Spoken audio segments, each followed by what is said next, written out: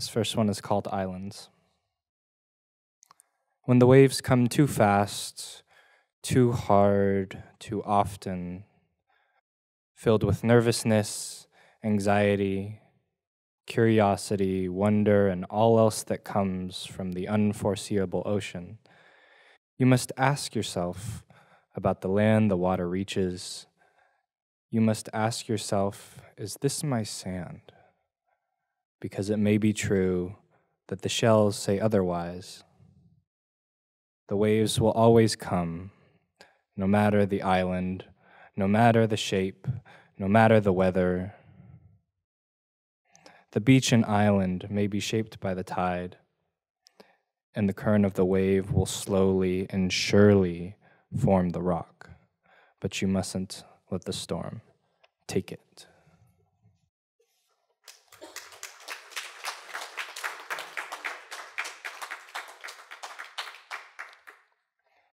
This is called Butterfly Snow.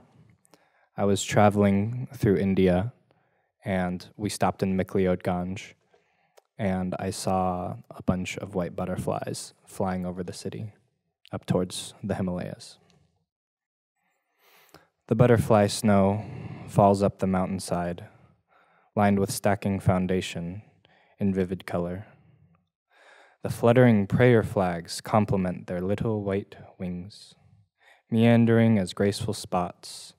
Above and through they move, with and as the landscape, and the green mixed with white flies. The sight is all for the eyes, and the silence is all for the ears.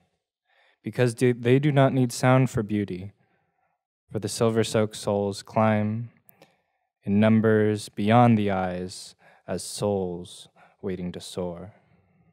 See the white warriors from another life take on this journey from the window.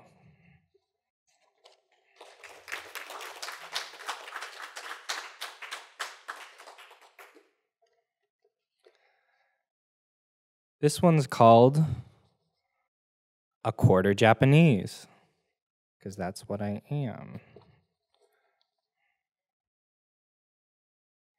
I identify with the quarter, and I still don't know about the nickel and seven dimes. The river flows, cut up the sun, it still shines. Even if the river is narrow, the wind still blows in the flat meadow of the sparrows, like little stepping stones. I know I can work on watching the Sugioka ripple, and I know love can guide me without light, but my blindness can't help but hit itself this cannot be helped. Makes windows never lived in shudder and crack, even if they don't fall flat, because the book took my lungs, and without my knowledge, it wrote on my back. So I go back and make sure the trace lines don't get drawn in. I see the boats, and apart from it, the car granddad dragged himself in. It mattered that he was the one driving because road mapped wings clipped. He still thought he was flying. With the apricot orchards, white dirt tried to cover so he'd turn in his grave before and after dying. Apparently, a quarter it is all it takes for the maple syrup to cover the carpet so I can get a what, what are? I can see it, the Japanese, and suddenly you're a specimen, and the ground beneath our feet becomes the back of my head, and now that gravity is no longer listening, I guess we'll take whatever we want, and you can call it stolen. Quarters confuse people because if I'm confused about the quarter, then the whole dollar is in question, and Farewell to Manzanar equipped me with Shikata ga nai and a narrative that I can't remember, but this phrase and its meaning still echo across me in phases I cannot predict and do not understand. My mind stumbles and cries as identity flies in and out of 3.14 sided lives. Would it be too much to say you can't eat what has already been cooked, a seemingly endless enigma of truths and lies? How do I check in with me when cookie cutters front and lines follow publicity stunts? I never knew how I fit into this pie dish, and now that I've really thought about it a little, it makes more of a lot less sense.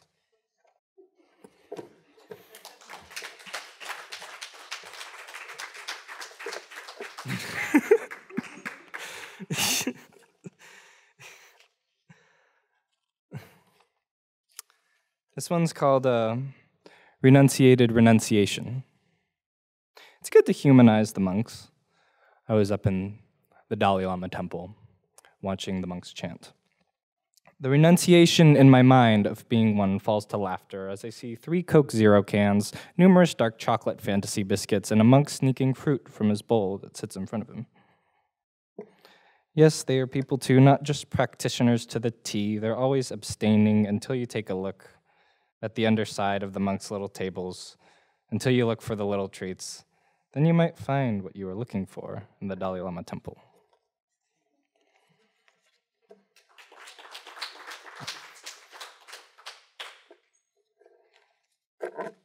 I always see them as like these diehard people that like once you start meditating, you never stop like the rest of your life. So, um, so there's this voice that may have come from my bloodline of the Sugiokas. Um, it's this voice that always tells me I'm not enough. Uh, I refer to this um, voice as a hungry ghost. And that's the name of this poem. I had a feature, danced with someone new. What more do you want from me? You want me to change my aunt's parenting. You want my friends to stop fighting. You want me to get them to talk about their feelings. You and me leave each other blindsided. And whenever I try to get closer to the edge of the face, I free fall another 20 miles it takes some time later for my body to realize. The first thing you want to say when I get off the stage is, What's next? I am enough. I am trying to get an echo from a waterfall. I am enough, not a death rattle from a deep cave. I am enough. What wasn't I doing when I was doing my best? And you knew from my start what you were doing right under my nose that I never thought of shifting from until sometime soon back. The audience reacts. The method shocked to intact. What if you didn't run this flame through the candle like a sword? What if I massaged it like a pen and let ink blot and spread and the ship sank, but the ocean rose, and that was a good thing this cannot be helped. Still chance from a diamond passion, twice as hard generation, even though Auntie Dora was going at it with that list, with those house chores. Seven minutes is 70 when you're 70, but when you're a Sugioka, the sun isn't down yet. And even if it is, it's not that dark outside, where chronic fatigue and depression see sideways and meet each other on the midnight lawn, and they don't know how to see farther than grandfather, than the sidewalk on the, their side of the street, the other side of the street. They, they see a world, I'll tell you. They don't want a refund, and don't let me forget to mention mention that it's crazy how long people will let you take care of them and act like it's normal, and it is crazy how long you cannot take care of yourself. I brought big bags of frozen burritos to Jake's house in middle school again and again, and when you go to Costco, do you think you could get them again? Fifth grade, Casey gave me that paper airplane, and I crumpled it without hesitation and chucked it in the trash. I'm here for the fast company, not enough. Don't make me think, not enough. That someone could reach me, not enough. Really, all I've done for this, not enough. And you think that's enough? Have you earned it? What have you spent? Think you deserve my two cents. I'll tell you this quarter is hell bent on paying rent. What are you loved for? What's up for grabs in your store? You know, I wonder if I stole everything anyway. Sometimes I'm trying hard enough to not be enough anymore. And sometimes I'm lying on enough, and enough is the floor.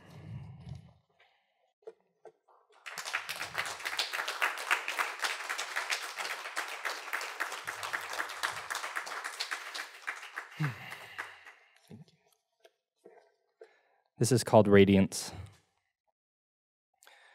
I have a beautiful heart.